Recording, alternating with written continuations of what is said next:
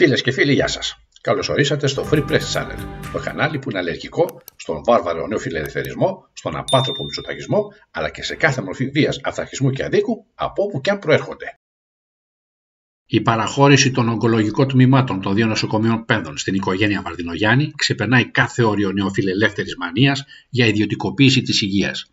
Η ανεξάρτητη βουλεύτρια Αγγελική Αδαμοπούλου εξήγησε στη Βουλή πόσο ανταγωνιστικό με μεγάλα ιδρύματα του εξωτερικού είναι ήδη εδώ και 40 χρόνια το ογκολογικό κέντρο. Η κυβέρνηση βλέπουμε κόντρα στη λογική, η οποία επιβάλλει να κάνει μια σοβαρή αυτοκριτική και μια ειλικρινή ανάγνωση επί των αιτίων και των τραγικών συνεπειών του τραγικού δυστυχήματος στα Τέμπη βλέπουμε ότι βαδίζει συνεπής στο μονοπάτι της άλωσης των δημοσίων νοσοκομείων και των δημοσίων υπηρεσιών υγείας από το ιδιωτικό κεφάλαιο. Μάλιστα χωρίς ίχνος διάθεσης για απολογισμό, για λογοδοσία, έρχεται ε, κόντρα στον αντίποδα να εκμεταλλευτεί το μούδιασμα και τον κοινωνικό αναβρασμό που υπάρχει αυτή τη στιγμή από αυτό το τραγικό δυστύχημα και να νομοθετήσει ακόμη πιο δυναμικά προς την ίδια κατεύθυνση. Τι κάνει λοιπόν εδώ, εδώ βλέπουμε το θέατρο του παραλόγου, Βλέπουμε στο άρθρο 5 του νομοσχεδίου να θεσμοθετείται η λειτουργία του Ογκολογικού Κέντρου Παιδών Μαριάννα Βαρδινογιάννη Ελπίδα και η μεταφορά δύο παιδογκολογικών μονάδων των παιδιοτρικών νοσοκομείων Παιδών Αγία Σοφία και Παναγιώτης και Αγλαία Κυριακού ε, να μεταφέρονται σε αυτό το Ογκολογικό Κέντρο Μαριάννα Βαρδινογιάννη Ελπίδα.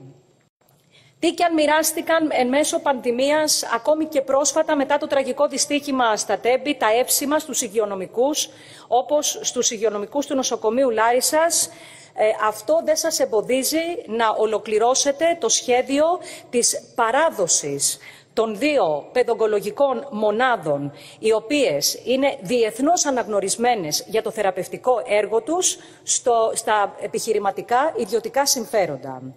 Θα επικαλεστώ την ε, τοποθέτηση της ε, εκπροσώπου της Προέδρου της Ελληνικής Εταιρείας Παιδιατρικής Αιματολογίας Ογκολογίας, της κυρίας Σοφίας Πολυχρονοπούλου, η οποία μας είπε κάτι που κανείς δεν μπορεί να αμφισβητήσει εδώ μέσα, ότι δηλαδή το κέντρο παρουσιάζει πολύ υψηλά ποσοστά επιβίωσης τα τελευταία 40 χρόνια, ότι οι συνθήκες περίθαλψης είναι ισότιμες με αντίστοιχα κέντρα του εξωτερικού. Αυτό οφείλεται στις μεγάλες υπεράνθρωπες προσπάθειες που κάνουν καθημερινά νυχθημερών οι υγειονομικοί στην αδιάλειπτη εκπαίδευση του υγειονομικού προσωπικού εφαρμόζουν προηγμένες μεθόδους, ενώ επίσης εφαρμόζουν και διεθνή συνεργατικά πρωτόκολλα ε, σε συνεργασία με αντίστοιχα κέντρα του εξωτερικού, ισότιμα των Ηνωμένων Πολιτειών της Αμερικής, της Ευρώπης, σε ισότιμη βάση. Άρα λοιπόν ε, υπάρχει ήδη αυτή η διασύνδεση με κέντρα του εξωτερικού. Το λέω γιατί το επικαλέστηκε ο Υπουργός σε σχέση με αυτή την αλλαγή, το μετασχηματισμό που φέρνεται. Και πραγματικά δημιουργείται η εύλογη απορία, όπως τέθηκε και στην αρμόδια επιτροπή, τι το καλό έχει να εισφέρει όλη αυτή η αλλαγή που φέρνεται όταν μιλάμε για δύο κλινικές πρότυπα στον παιδικό καρκίνο; Τα δύο εγκλήματα της διακυβέρνησης Μητσοτάκης στο θέμα των σιδηροδρόμων ανέδειξε ο Αλέξης Τσίπρας στη συνέντευξη που παραχώρησε στο Μέγκα. Πρώτο, επί ΣΥΡΙΖΑ ήταν έτοιμο το 72,4% της τηλεδιοίκησης, ενώ σήμερα, τέσσερα χρόνια αργότερα, ολοκληρώθηκε ένα επιπλέον μόλις 4,6%. Δεύτερο, ο παρετηθής Υπουργός Υποδομών και Μεταφορών Κώστας Καραμαλής εξαφάνισε από το μνημόνιο συνεργασίας με τους Ιταλούς την υποχρέωσή τους να επενδύσουν σε βάθος 15 ετία 800 εκατομμύρια ευρώ, με την αντίστοιχη υποχρέωση του ΩΣΕ να ολοκληρώσει τα έργα ασφάλειας. Μέχρι το 2019 δεν είχαμε αυτόματο πιλότο στα τρένα αλλά είχαμε πύργο ελέγχου στα τρένα. Και από το 2019 δεν έχουμε ούτε αυτόματο πιλότο, ούτε πύργο ελέγχου. Δεν έχουμε το δευτεροβάθμιο κέντρο ελέγχου mm-hmm. και cross-check στην Καρόλου, όπου βρισκόντουσαν μαζί οι εργαζόμενοι του ΟΣΕ και της Τρενοσέ με το σύστημα GPS εγκατεστημένο στα τρένα. Είμαστε σε μια εποχή που στο κινητό μας τηλέφωνο βλέπουμε που βρίσκονται τα αεροπλάνα, που βρίσκονται τα πλοία, που βρίσκεται ο Τελιβερά που μας φέρνει πίτσες. και θα μπορούσαμε να βλέπουμε Προφανώς ξέρουμε που βρίσκονται και τα τρένα. Και το 19 το διαλύθηκε το κέντρο oh, ναι. τηλεδιοίκησης Λαρίσης με μια πυρκαγιά που έγινε το καλοκαίρι του 19 και δεν αποκαταστάθηκε ποτέ. Και σε αυτό το κέντρο υπήρχε δυνατότητα ελέγχου από τη Λάρισα μέχρι το πλατή Μαθία. Και αναρωτιέμαι, αυτή η κυβέρνηση έχει κάνει 10 δις περίπου απευθείας αναθέσεις. Δεν μπόρεσε να κάνει, δεν της αλληλεί κανείς τίποτα. Μια απευθείας ανάθεση να αποκαταστήσει τις ζημιές που έγιναν στο κέντρο τηλεδιοίκησης Λάρισας. Οφείλω να σας πω τι ακριβώς έκανε η κυβέρνηση ΣΥΡΙΖΑ με την περιβόητη αυτή σύμβαση, το Γιοφύρι της Άρτας, τη Σύμβαση 717. Η κυβέρνηση ΣΥΡΙΖΑ λοιπόν ξεκίνησε την υλοποίησή της. Ήταν μια σύμβαση που όπως και η προηγούμενη της το 2007 δεν ελάμβανε υπόψη τα πραγματικά δεδομένα του έργου. Το Σεπτέμβριο λοιπόν του 2018 είχε υλοποιηθεί το 68% της σύμβασης 717. Το Μάιο του 2019, λίγο πριν φύγουμε, έχει ολοκληρωθεί το 72,4%. 9 Μαρτίου 2020. Έχει αναλάβει η κυβέρνηση Μητσοτάκη. Βεβαίως. Βρίσκεται κάποιους μήνες στην κυβέρνηση. Βεβαίως. Εισήγηση του, της Διεύθυνσης Έργων Εργοσέ προς το Διοικητικό Συμβούλιο της Εργοσέ. Το έργο έχει ολοκληρωθεί σήμερα σε ποσοστό 74%. 14 Φεβρουαρίου 2023 το έργο, η ίδια, η ίδια ακριβώς χαρτί. Το έργο έχει ολοκληρωθεί σε ποσοστό 77%. Και τελικά τι κάνανε αυτοί οι άνθρωποι τέσσερα χρόνια, τι κάνανε; Όταν ανέλαβε η Hellenic Training Ιταλικών Συμφερόντων, είχε δεσμευτεί ο κ. Τζεντιλόνι για 700 εκατομμύρια επενδύσεις σε 15 χρόνια από την, τρένος, από την, από την Hellenic Trade. Όχι καλά εντάξει, διότι το 2020 έρχεται και φέρνει ο κ. Καραμαλής στη Βουλή. Μνημόνιο συνεργασίας των δύο πλευρών. Φέρνει το μνημόνιο συνεργασίας, όπου υπάρχει μέσα και η δέσμευση των Ιταλών για 800 εκατομμύρια επενδύσεις στην 15 ετία και η δέσμευση του ελληνικού δημοσίου να ολοκληρώσει τα έργα ασφάλειας, το ETCS. Και έρχεται μετά από δύο χρόνια, το 2022, η σύμβαση στη Βουλή και ως διαμαγείας φεύγουν και τα δύο. Συμπληρωματική σύμβαση. Φεύγει Αλλά- και η υποχρέωση της των Ιταλών να Άρα κάνουν τι θα επενδύσεις κάνετε, θα και φεύγει και η βελτιώσετε τη υποχρέωση του ελληνικού συμφωνία, δημοσίου ουσιαστικά αυτό να μας κάνει τα λέτε. έργα. Το επόμενο βίντεο είναι το πιο απλοϊκά εμπεριστατωμένο δωρεάν μάθημα οικονομικών σχετικά με την κατάρρευση μιας τράπεζας και ειδικότερα της αμερικάνικης Silicon Valley που απειλεί με ντόμινο το παγκόσμιο τραπεζικό σύστημα. Ξεναγός μας στην επιμόρφωση, ο οικονομολόγος Αναστάσιος Λαβρέντζος. Μια τράπεζα, όπως πιθανώς ξέρουν οι φίλοι μας, παίρνει κεφάλαια από κάποιες πηγές. Παίρνει από τα λεφτά του μετόχου, παίρνει από θεσμικούς επενδυτές που μπορεί να έχει εκδώσει ομόλογα σε αυτούς, συνήθως είναι ένα ακριβό χρήμα αυτό, και κυρίως παίρνει λεφτά από τους καταθέτε της. Η μεγάλη πηγή δηλαδή χρημάτων για μια τράπεζα είναι οι καταθέτε της. Αυτά τα χρήματα τι τα κάνει μια τράπεζα, το κάνει κτίρια, υπολογιστή, υποδομή, εν πάση περιπτώσει, αλλά κυρίως το δίνει σε δάνεια. Δάνεια σε ιδιώτες, για στεγαστικά, καταναλωτικά, δάνεια σε επιχειρήσεις κλπ. Αυτή είναι η βασική λειτουργία.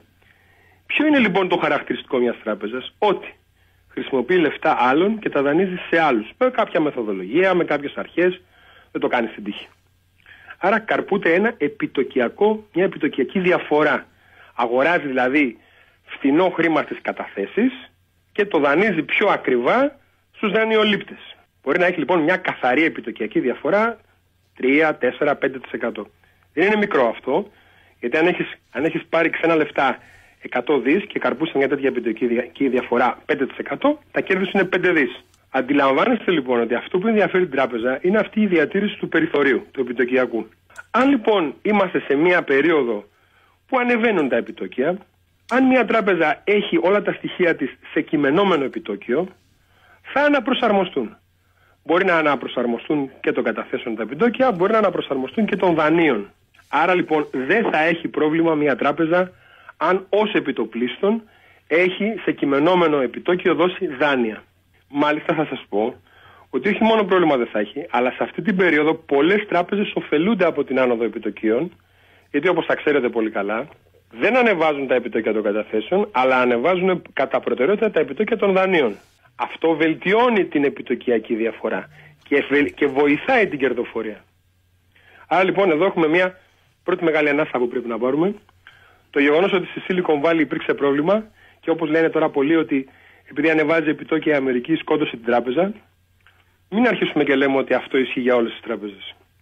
Έχει να κάνει με ένα διαχειριστικό λάθος της διοίκησης της Silicon Valley, η οποία φαίνεται να μην είχε καταλάβει πολύ καλά την έννοια του επιτοκιακού κινδύνου. Είναι μια ιδιαίτερη τράπεζα, η οποία ε, κινείται, έχει πελάτες της αυτό που λέμε startups, δηλαδή νεοφυείς εταιρείες, οι οποίες πάνε και μαζεύουν κεφάλαια από διάφορους επενδυτές, φτιάχνουν αυτό που λέμε venture capital και αυτό το κεφάλαιο το χρησιμοποιούν για μια εταιρεία νέας τεχνολογίας που μπορεί να δώσει, ξέρω εγώ, να γεννήσει μια νέα Microsoft κλπ. Οι πελάτες, λοιπόν, προσέξτε το τώρα αυτό. Οι πελάτες στη Silicon Valley ήταν κυρίως τέτοιες εταιρείες που έβαζαν εκεί τα λεφτά τους που είχαν μαζέψει για τα, για τα project που είχαν σχεδιάσει. Αυτό τώρα για έναν που είναι μέσα στην τράπεζα έχει σημασία γιατί η καταθετική βάση αυτής της τράπεζας δεν ήταν ιδιώτες, δεν ήταν μικροϊδιώτε που δύσκολα μετακινούν τα λεφτά τους. Ήταν εταιρείες.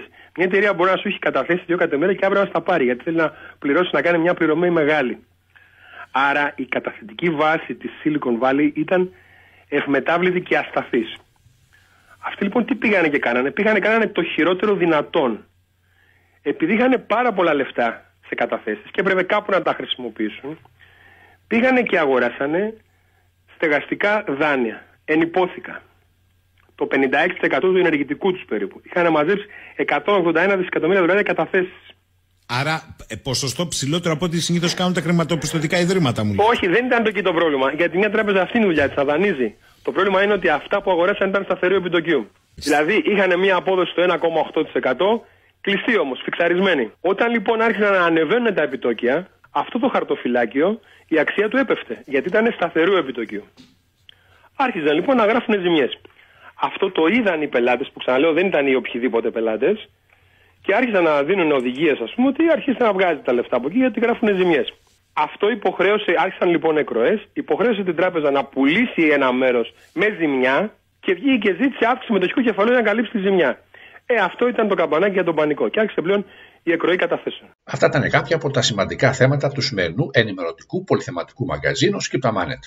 Τώρα, αν θέλετε και να αναλαμβάνετε ολοκληρωμένες εκπομπές, που σημαίνει περισσότερες ειδήσεις, πιο αναλυτικές, χωρίς καμία απολύτω λογοκρισία, δηλαδή πιο αποκαλυπτικές, δεν έχετε παρά να εγγραφείτε στο, στο κανάλι, είναι στη διακριτική σας ευχέρεια με δύο τρόπους. Είτε μέσω τραπεζικού λογαριασμού που θα το βρείτε κάτω από το βίντεο, είτε μέσω PayPal ακολουθώντας τα παρακάτω απλά βήματα. Πρώτο βήμα, πηγαίνετε στα σχόλια κάτω από το βίντεο. Δεύτερο βήμα, κάνετε κλικ στο σύνδεσμο του PayPal. Τρίτο βήμα, πληκτρολογείτε το ποσό και το mail σας. Τέταρτο βήμα, προαιρετικό, γράφετε κάποιο σχόλιο. Αυτό ήταν. Η συνδρομή σας αρχίζει να μετράει από την ίδια κιόλας ημέρα. Και φυσικά για όσο διάστημα έχετε εσείς επιλέξει.